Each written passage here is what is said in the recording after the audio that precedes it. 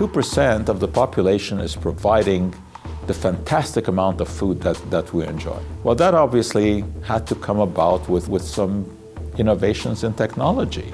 Everything we eat is genetically modified from its wild ancestors, but if this was done a few thousand years ago, people are less concerned than if it was done in a lab yesterday.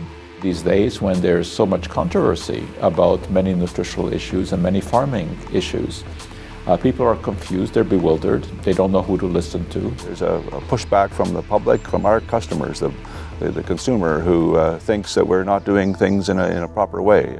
Farmers are still credible voices. Our concern is to grow food for other people. And I'm not going to grow food I wouldn't feed to my kids. Just because someone is a conventional farmer doesn't mean they're not also an environmentalist. I'm proud to be a farmer and, and contribute to growing safe, quality, healthy products. I love farming and I love the way that we farm.